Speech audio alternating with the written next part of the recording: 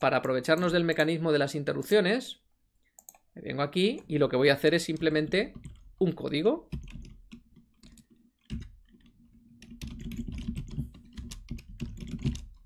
¿Vale? Lo llamo interrupt manager. Pongo un red. Y como esto es muy largo, voy a poner interrupt man o man ir de interrupciones, ¿vale?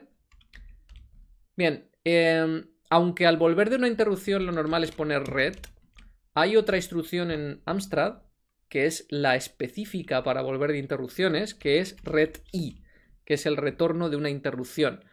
Es básicamente similar a un red, ¿vale? Simplemente es bueno que pongáis al volver de una interrupción red i, que tiene, como digo, también eh, implicaciones si hay hardware conectado a la CPU.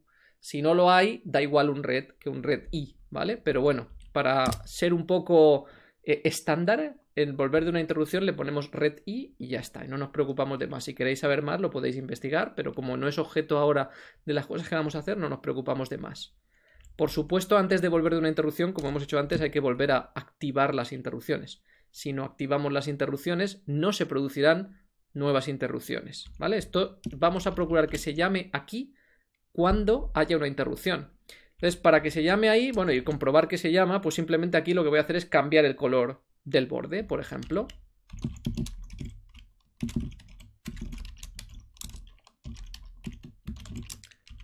Por ejemplo, Cambio el color del borde. Esto es una macro, así que es cpct macro. Set border as hardware black. ¿Vale? Y volvemos. Y ya está. Ahora, ¿qué tengo que hacer para que cuando se produzca una interrupción se llame aquí? ¿Qué debería yo modificar? Para que cuando se produzca una interrupción se llame a esta función, al manager de interrupción. Decidme, porque lo primero que voy a ejecutar es el main. Entonces, ¿qué pongo yo en el main ¿Qué hago para que cuando se produzca una interrupción, con lo que hemos visto ahora, saltemos aquí? Tienes que cambiar eh, lo que pone la dirección 39 y 40, que sería el donde se salta, y poner la dirección de man barra baja ahí. Vale, es casi correcto. Y me explico por qué. No podemos estar seguros de que en la posición 38 va a haber lo que habéis visto que había, que es un salto al firmware. Eso lo hay en, digamos, en la ejecución normal de una máquina en la que la acabas de arrancar, eso está así. Pero podría no estar así cuando alguien ejecute nuestro juego. De lo que estamos seguros completamente es de que cuando haya una interrupción, si estamos en el modo 1 de interrupciones, se producirá un salto automático, como un call, a la dirección 38. Que no tiene por qué haber un JP ahí, que lo hay por defecto en la máquina cuando está recién arrancada y no tiene hardware externo ni nada, pero ese no tiene por qué ser la condición de un usuario cualquiera. Un usuario cualquiera puede haber hecho 20 cosas antes de ejecutar tu juego y entonces a lo mejor ahí ya no está lo que tú esperas que haya. Lo que sí sabemos es si estamos en modo de interrupciones 1, cuando llegue una interrupción, si estas están habilitadas, ¿vale? saltaremos a la dirección 38. Sabiendo eso, ¿qué cosas hago ahora? Tienes que poner tanto el jump como la dirección de memoria. Lo que pasa es que jump no sé cómo es en hexadecimal. Vale. Jump en hexadecimal, JP, ¿vale? JP, si no os lo sabéis, es C3. ¿Solo eso? ¿Alguna cosa más? ¿No me falta nada? ¿Vale? Bueno, si, que, si eso es lo que pensáis que se debe hacer, ¿cómo lo hago?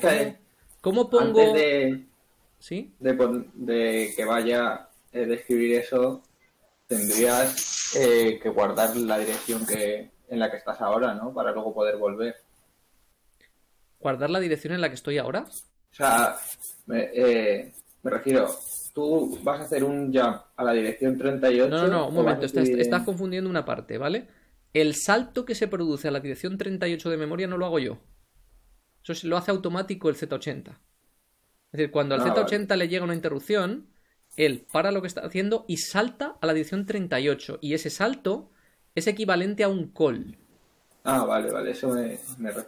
Eso lo hace automático el Z80, no lo hago yo. Entonces yo no tengo que guardar direcciones de ningún tipo porque además ni siquiera soy capaz de predecir cuándo se va a producir ese salto. En mi código no puede saber, bueno, eh, hay formas, pero tendría que ser muy estricto, pero en general mi código no va a saber cuándo se produce ese salto. Lo hace automático el Z80 cuando le llega una interrupción y hace un call a 0038.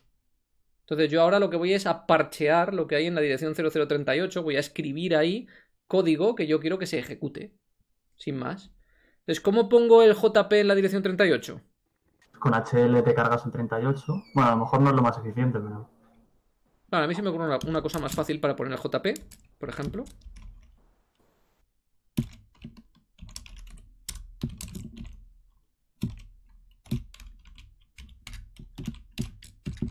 ¿No?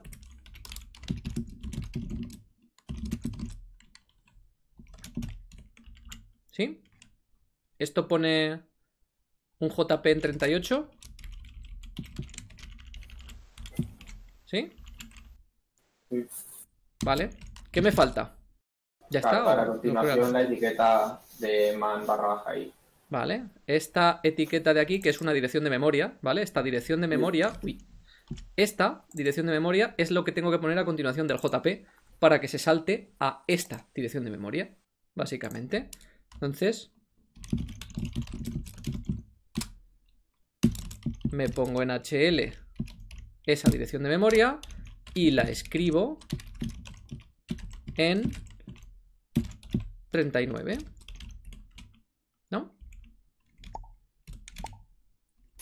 Sí. Con esto ya habré puesto JP man IR en la dirección 38 de memoria. Pero no me falta nada. ¿En qué modo de interrupciones estoy?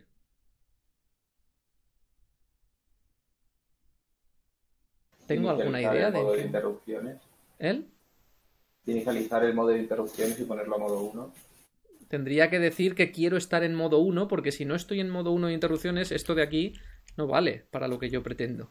Y si el, cuando arranca el juego estoy en otro modo de interrupciones, pues eh, esto no va a funcionar.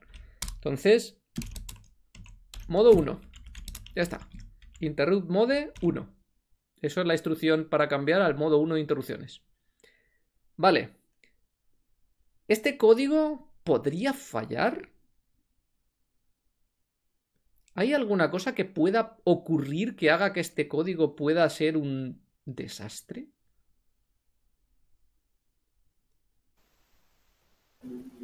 No estoy seguro, pero creo que lo que podría pasar es que es escribir, esto lo escribes en RAM y entonces salt- saltase a ROM y lo leyese de ROM y entonces no leyese esto. No. No.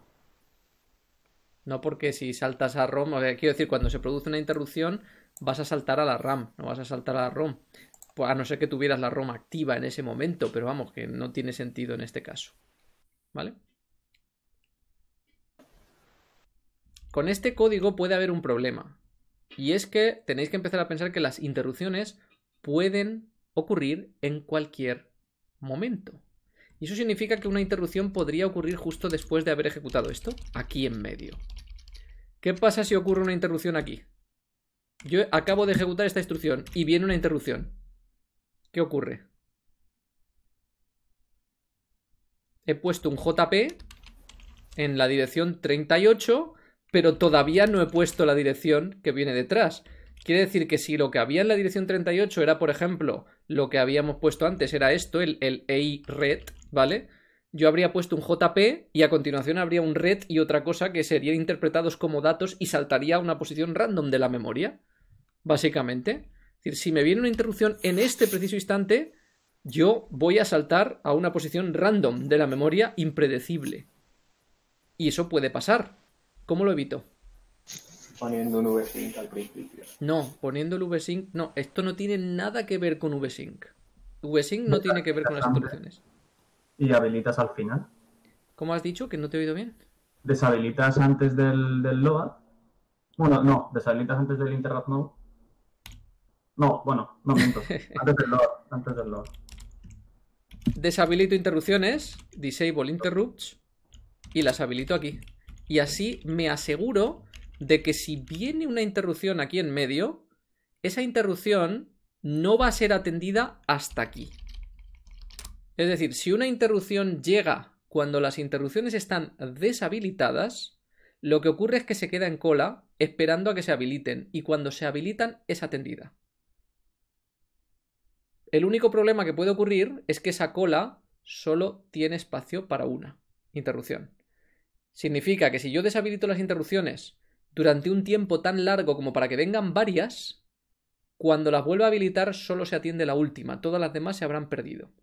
¿Vale? Y eso es una cosa que vamos a ver hoy, que interesa que la tengáis en cuenta. ¿Vale?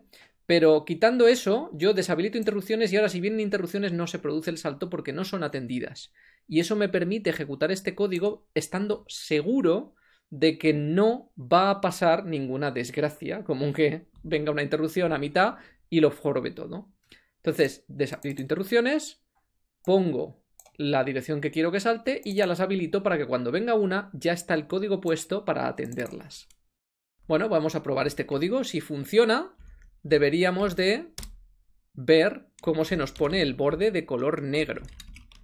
Porque si os habéis fijado, el poner el borde negro está aquí. Y para que se ponga el borde negro hay que llamar aquí. Si no se llama aquí, no se pone el borde negro. El código de main solamente establece a qué dirección hay que saltar cuando se produce una interrupción y luego se pone en un bucle infinito. Si el color del borde se pone a negro, es que en algún momento hemos saltado aquí. ¿Sí? Vamos allá. Y ahí tenéis borde negro. Por tanto, las interrupciones se ejecutan y esto funciona.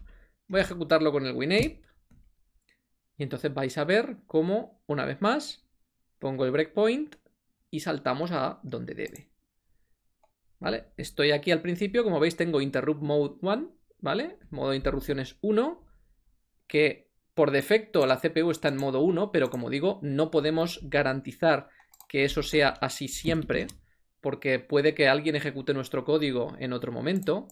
Entonces yo ejecuto y ahora veréis que cuando le doy aquí a deshabilitar interrupciones, fijaos aquí que las interrupciones están habilitadas y al ejecutar esta instrucción de i, esto pasa a estar deshabilitado. Ya no hay interrupciones, no son atendidas en este trozo. Y entonces aquí ahora veréis en la zona de la dirección 38 de memoria, que es la que vamos a modificar. La dirección 38 está aquí, dos, estos son 2, 4, 6, 8. Esta es la dirección 38, ¿vale? Y ahí es donde ahora, cuando yo ejecute, veréis que ponemos primero el C3 que ya estaba puesto, ¿vale? Así que no hemos modificado nada.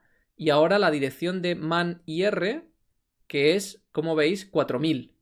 Así que vamos a poner salto a la dirección 4000. ¿Vale? Y a continuación habilitamos las interrupciones, que las interrupciones van a pasar de estar deshabilitadas a estar habilitadas. ¿Vale? Y ahora ya estamos en nuestro bucle infinito.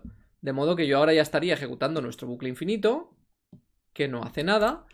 Ahora me voy a la dirección 38 Veréis que ahora hay un JP man IR porque es JP a 4000.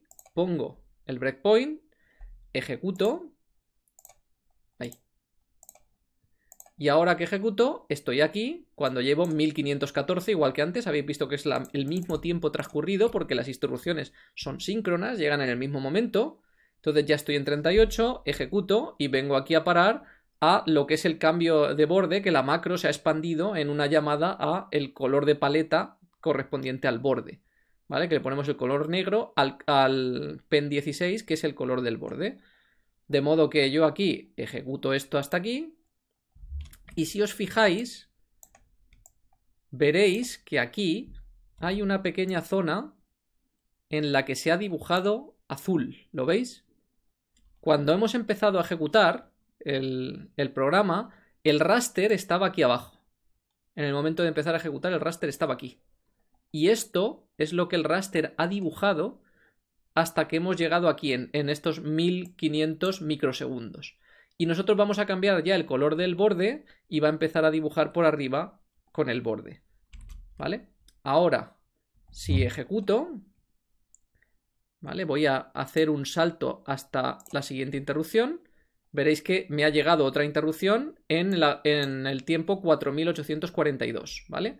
Hay como unos, como habéis visto, 3300 más o menos entre una interrupción y la siguiente, aproximadamente. Y si os fijáis en el WinApe, no sé si lo habéis visto cuando ejecuto, fijaos que hay dos líneas, ¿habéis visto que hay dos líneas punteadas?